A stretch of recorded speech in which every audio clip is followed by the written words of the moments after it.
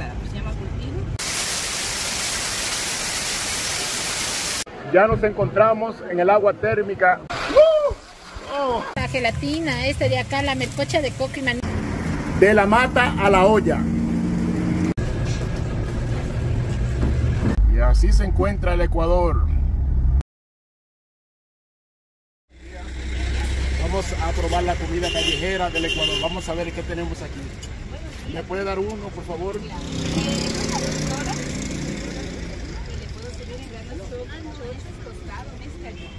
Yo solamente quiero el choclo. Choclo es lo que le llamamos también el maíz en algunos países.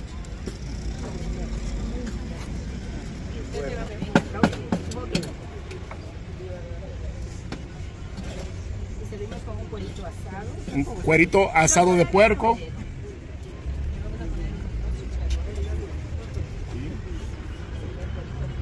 Tenemos ensalada, ¿no?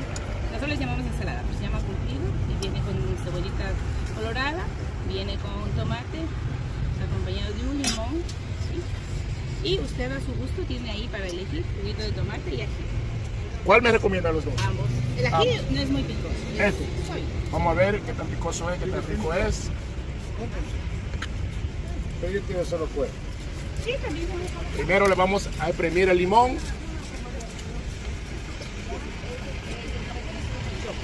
Vamos a ver qué tan rico son los cueritos de puerco, comida callejera en el Ecuador.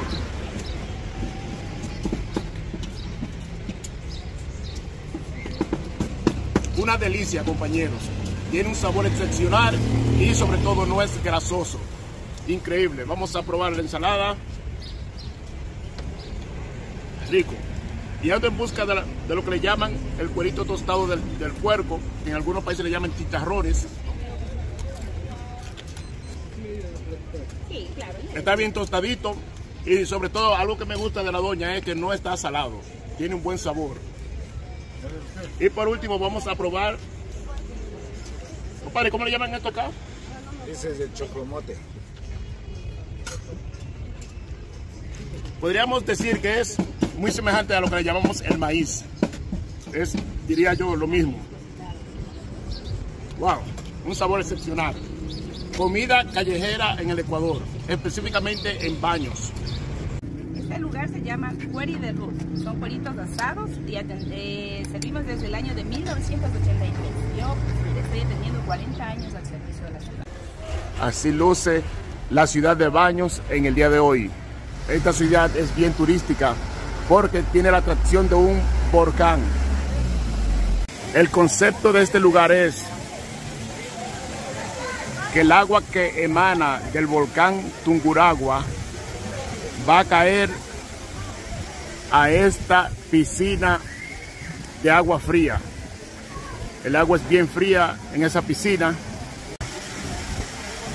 el color del agua de esta piscina es un tanto oscura porque es el agua que emana debajo del volcán Tunguragua.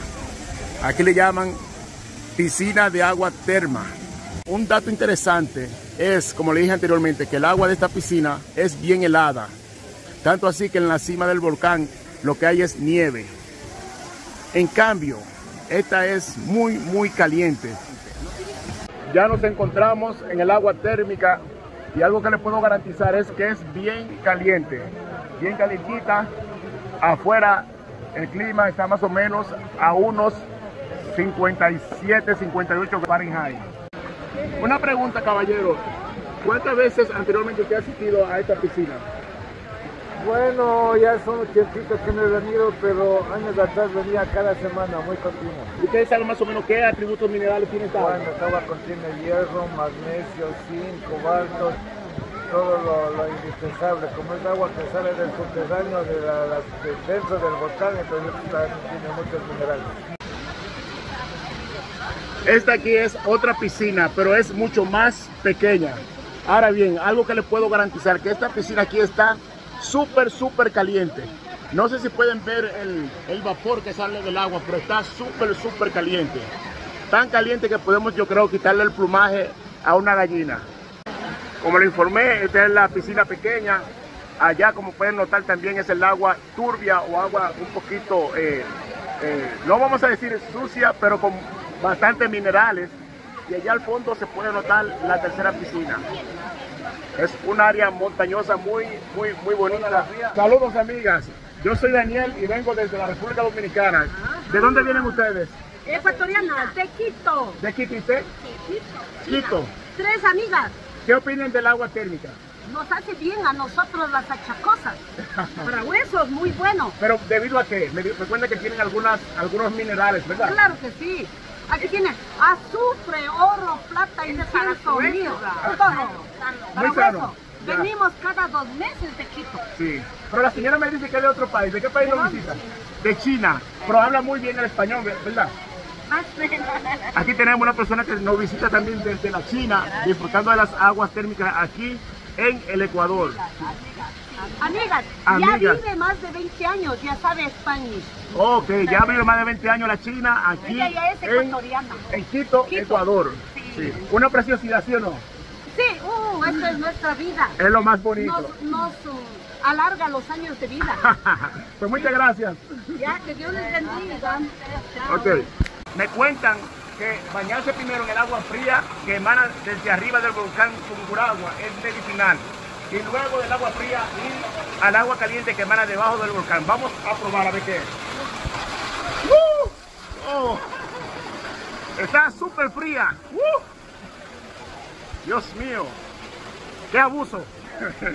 Vamos a ver ahora, supuestamente, es lo que le aconsejan hacer a uno. Primero en el agua fría y luego en el agua caliente. Aquí se siente mucho mejor. Aunque está tan caliente, como dije anteriormente, que podemos pelar un pollo con el agua aquí.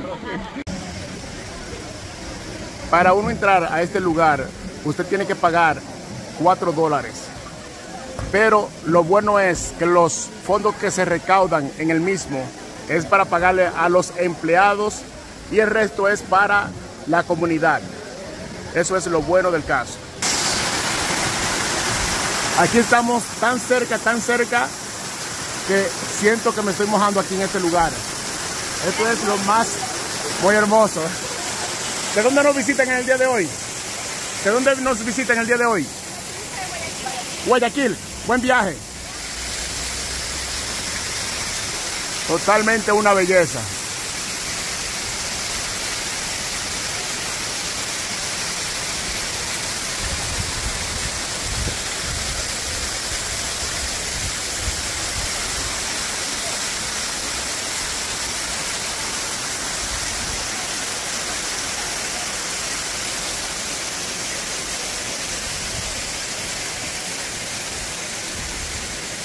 Lo único que las condiciones climáticas no nos están ayudando. Ahora está mucho más nublado. Las montañas están tan altas que las nubes la cubren totalmente. Solamente podemos observar la mitad de la montaña. Y allá se puede notar la ciudad de Baño. Vamos a tratar de hacer un close-up a la ciudad.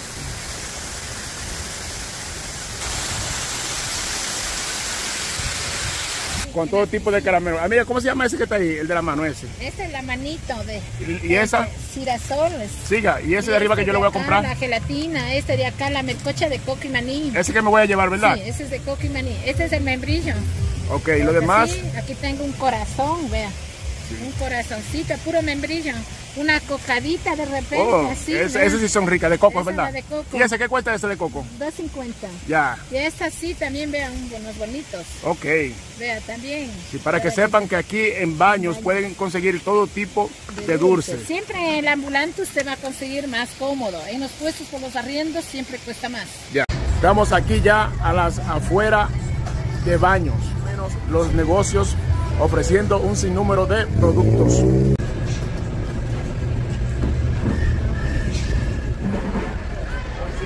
se inicia las preparaciones del sándwich de baño.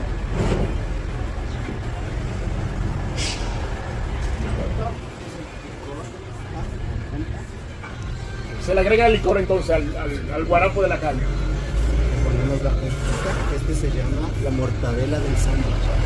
Ok, es la punta, el puro. Excelente.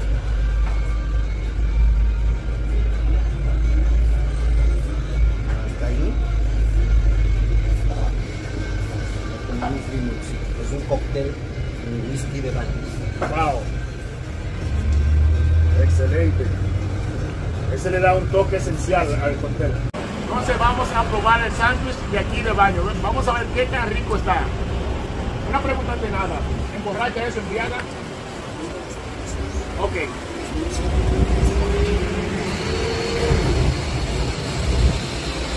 Wow, tiene un sabor excepcional. Se siente el sabor al licor y a la caña. Estamos en la pesca deportiva. Luego cuando los pescados están un poquito más grandes, lo van trasladando de una a otra más grande. Como pueden observar aquí, ya los pescados se ven un poquito más grandes.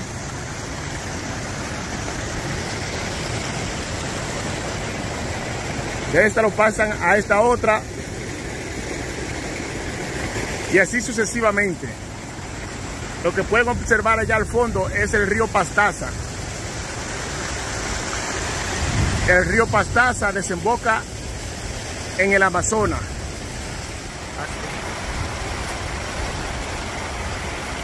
La pesca deportiva. La primera vez que yo estuve aquí no pudimos bajar ya que estaba lloviendo bastante. Pero gracias a Dios en el día de hoy sí lo pudimos hacer.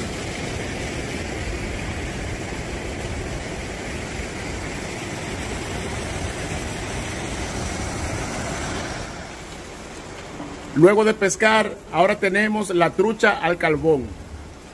Una delicia. Hemos pasado el día entero en baños, pero antes de partir hacia los Estados Unidos, tuve que venir obligatoriamente a comerme una trucha al carbón de nuevo.